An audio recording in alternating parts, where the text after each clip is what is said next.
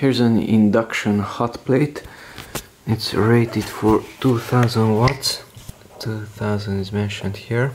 Let's see how much time is needed to heat up some food to a decent temperature.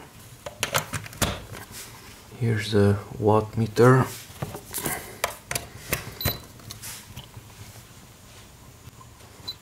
Now it's on.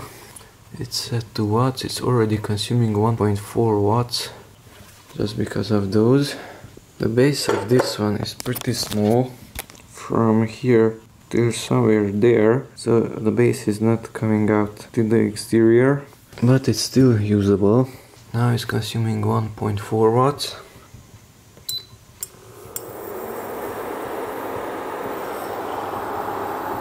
Now it's consuming 1100 watts.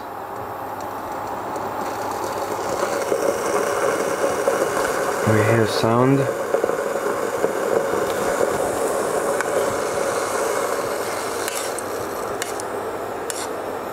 Twenty-nine seconds passed. One point one kilowatts. Here it says 1600. There is 1100. It's warm already.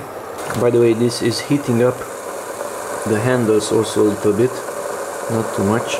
Power consumption is pretty constant and it's getting warmer. I can see steam already. One and a half minutes passed and I think that's warm enough. So in two minutes it will be more than perfect. So in two minutes you can warm up your food. I will turn it off. The fan just started. This is steaming, so it's pretty warm, but it's still usable.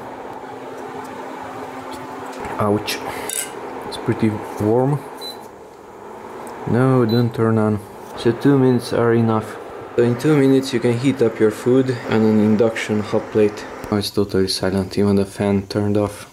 The handle is warm, this part got warm also. It's not too hot.